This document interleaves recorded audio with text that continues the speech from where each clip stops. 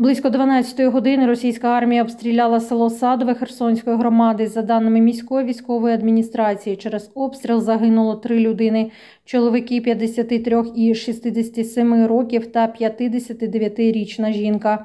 О 9.30 під обстрілом був корабельний район міста. До лікарні звернувся 71-річний чоловік. Пошкоджені житлові будинки, машини, зламані і посічені дерева. Обстрілювали російські військові і центр міста. Вот дорожка была, калитка, выход на улицу. Вот тут был вольер, собака, алабай. Ну, его сейчас нет.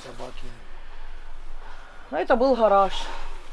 Розкидане каміння, шифер та дошки від гаражу, куди влучив снаряд, нічого не залишилося, розказує Наталія. Це подвір'я її батьків. Під час обстрілу господарі були не вдома. Мы были в центре города, позвонил нам сосед, сказал, что гаража нет.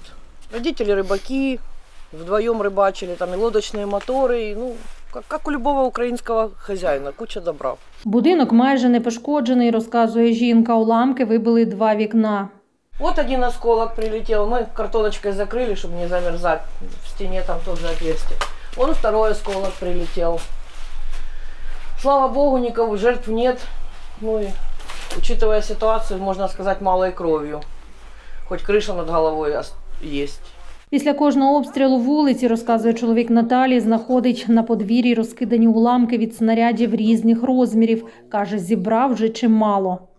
За весь что я период. здесь дома собрал. Вот это русским. Что-то возле забора, что-то в доме. Це вже інша вулиця. Снаряд влучив біля гуртожитку. Уламки вибили скло та посікли фасад. Опівночі, за даними прокуратури, російська армія атакувала село Дар'ївка Херсонського району. Пошкоджені будинки є поранені, розказує керівник прес-офісу Херсонської обласної військової адміністрації Олександр Толоконніков.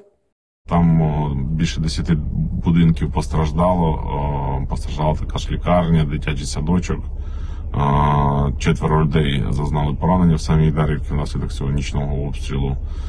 Двоє з них е, були е, шпиталізовані, двоє е, надана допомога на місці. Продовжує російська армія обстрілювати і Береславщину з різних видів озброєння, розказує начальник районної військової адміністрації Володимир Літвінов.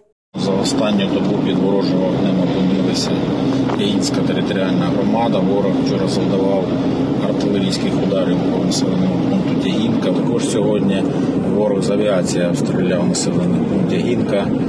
Були пошкоджені житлові будинки та господарчі споруди мешканців. На щастя, за останню добу без жертв. За повідомленням Нацполіції, під артилерійським обстрілом були селище Антонівка і село Велетенське Білозерського району. Олена Сумська, Ольга Ляшенко, Ігор Печенко, Суспільне новини, Херсон.